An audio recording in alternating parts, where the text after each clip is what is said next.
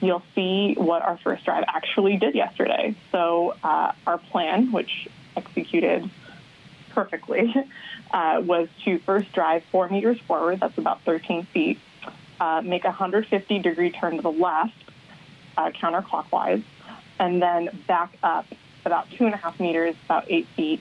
And then during that drive, we took a pause to image the touchdown contact patch on the tires. So where the tires uh, made contact, or the wheels, I should say, where the wheels made contact with the ground when we landed.